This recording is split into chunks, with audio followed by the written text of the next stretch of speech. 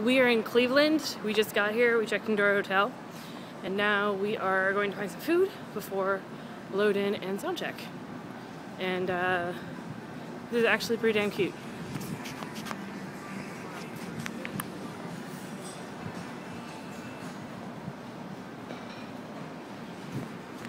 So yeah,